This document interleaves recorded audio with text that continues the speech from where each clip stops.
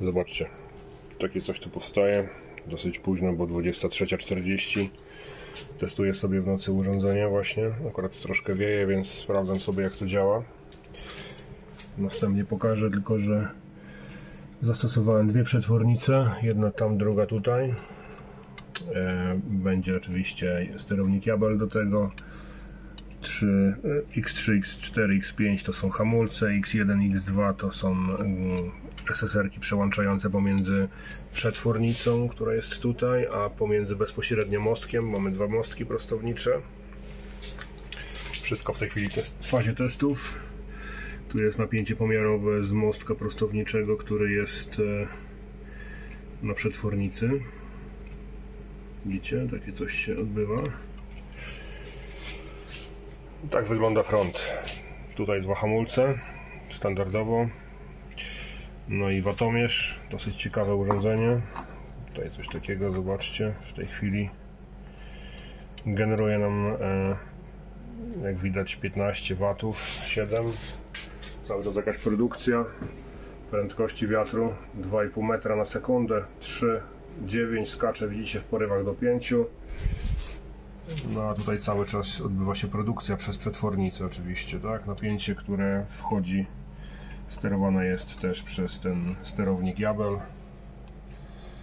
No i ładnie produkcja cały czas do przodu idzie. Testowanie hamulca, tylko że jeszcze nie podłączony rezystor. Właśnie ustawiam sobie wszystko. Także będzie pewnie pełny materiał. Tam zamontowany mam oprócz tego dodatkowo jeszcze sterownik bezprzewodowy, który też Wam pokażę. Całość będzie opisana na e, schemacie podłączeniowym.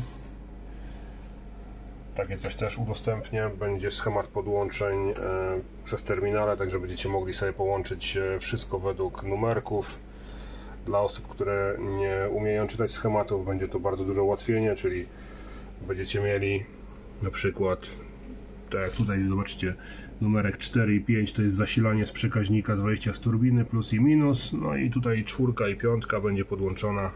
Także rysuję coś takiego do którego terminala żeby napięcie sobie e, pobrać. Także wszystko będzie ładnie rozpisane.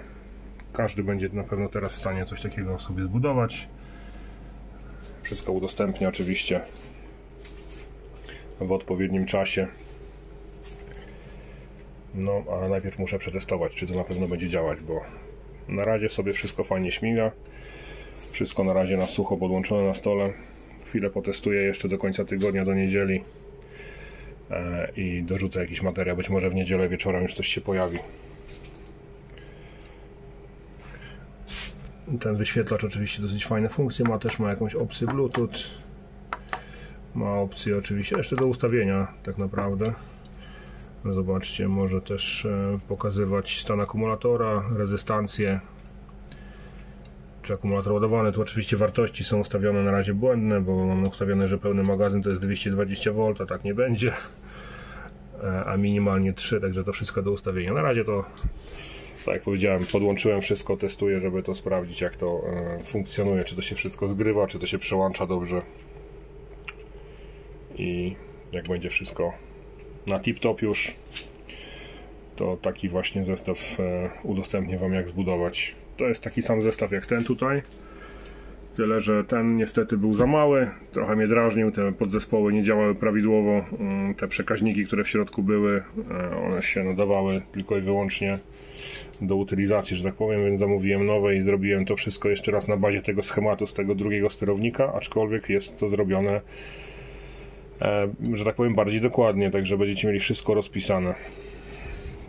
Mam nadzieję, że każdy będzie zadowolony, będziecie mogli coś takiego zbudować. No ja mam akurat tutaj trochę więcej rzeczy włożone, bo taka trochę fanaberia, dwie przetwornice, jakieś tam rozdzielacze specjalne i tak dalej.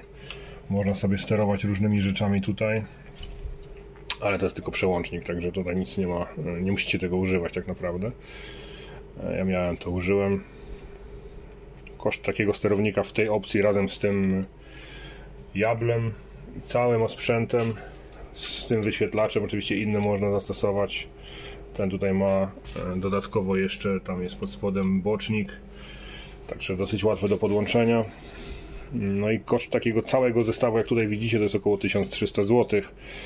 E, nie licząc tej skrzynki, ale możecie to zrobić dużo taniej, tak jak mówię, tak? Nie musicie używać naprawdę, tak naprawdę tego jabla, można użyć e, tylko komparatorów do sterowania.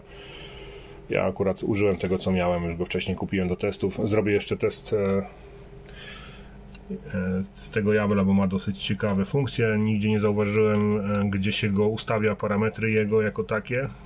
W tej chwili poustawiałem sobie to troszkę lepiej. Widzicie, obroty wyglądają teraz inaczej niż poprzednio. Ustawiłem obroty do krzywej, którą producent udostępnia z turbiny. Tak też możecie zrobić. Czyli przy danej mocy, która jest generowana, możecie od razu wpisać ile obrotów e, w danym momencie jest, tak? Także też Wam pokażę jak to zrobić. No i myślę, że coś z tego będzie, słuchajcie. Szczegółowy opis tego sterownika i szczegółowy materiał nagram wkrótce, także obserwujcie kanał. Jak już wszystko przetestuję, pokażę Wam wszystkie aplikacje do tego i tak dalej, bo będzie i aplikacja do tego urządzenia. W końcu będzie można na komputerze sobie jakieś charakterystyki sprawdzać i tak dalej. Ładowanie, jakieś e, zliczać dane. No i jest dodatkowo w środku ten przekaźnik bezprzewodowy, taki jak był tutaj, tylko że jest e, firmy Tuya. I on ma cztery przekaźniki sterowane, więc e, będzie można to podłączyć kilka rzeczy, jeżeli ktoś będzie miał taką potrzebę, a jak nie, no to w zapasie chce zostawić. Można to jakieś tam ewentualnie przełączenia z tego zrobić. Pozdrawiam wszystkich. No i obserwujcie, tak jak mówię. Myślę, że będzie warto. Pozdrawiam.